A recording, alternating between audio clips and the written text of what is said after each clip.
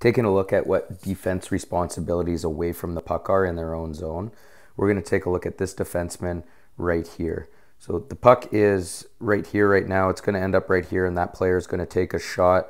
But if we're watching this player, he's not worried about the puck because his teammates are going to do their job. He's got to trust that they are going to do their job. He has to find open players on the other team going to the net. In that case, it's this player. So let's take a look at what happens here.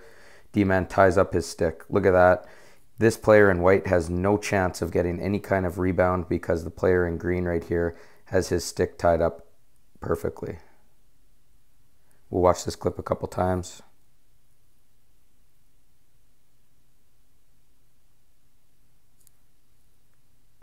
Also, driving the net, we got to make sure that we are taking the opponent's stick off the ice whenever we can as well. If their stick's not on the ice, you can't score a goal most of the time. See how he just lifts his stick right there? We'll see this again. Stick lift right in front of the net, and that player will have no chance to get a rebound. Now we're going to take a look at happens if you don't do that. Watch right here. Player in white is puck watching, just watching here. He's not aware of what's going on behind him and this player comes in, stick's not tied up, and it's in the back of your net. Again, 58 white, just watching the puck, not taking the man that's right behind him, and it ends up in the back of the net. So make sure that we're not always puck watching.